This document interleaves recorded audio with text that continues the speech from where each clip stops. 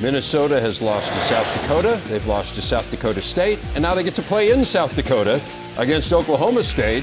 Went a little better in the first half than those other games as Ahmad Gilbert hits the three, actually put the Gophers up by two at the break. Then it's Nate Mason just inside the arc in a close game in the final five minutes, but Oklahoma State just seemed to have the answer every time down the stretch. Mitchell Solomon with the jam, Cowboys up by four ensuing Minnesota possession, Jordan Murphy has really been a revelation for this Gophers team. His third double-double in the last four games.